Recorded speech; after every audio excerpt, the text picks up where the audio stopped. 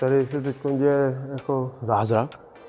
Eh, aspoň z mého pohledu to tak je, protože to je věc, na který si pracuje už eh, eh, bezmála druhým rokem. Je to praying, praying wood, jako modlící se klacek, který tady teď přistál z, ze Sleváren ze Slovenska, kde nám podle našeho dřevěného, podle dřevěné předlohy, spousta lidí si myslí, že to je dřevo, není.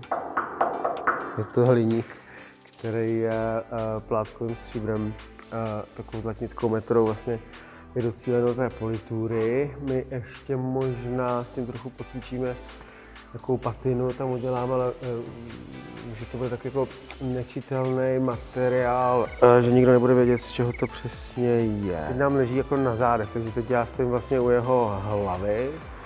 Tady by se dalo říct, že má takový jako ouško, to nás může poslouchat. A tady vlastně, to jsou nohy, že?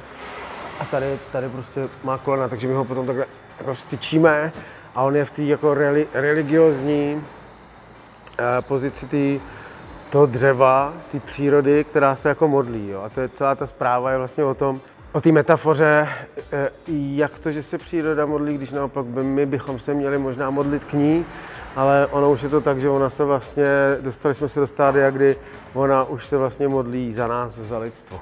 Já jsem je nejdřív dělal maličký, pak přišlo nějaká, nějaký, nějaký oslovení udělat něco uh, do Litomyšle, do veřejného prostoru. Nakonec složitým uh, vírem událostí se to dostává do Prahy.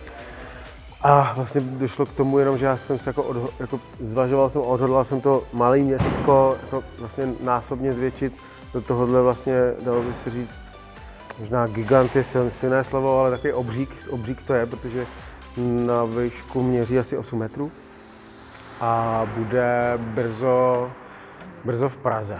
A vlastně já ani neřeknu kde, protože si ho každý najdete.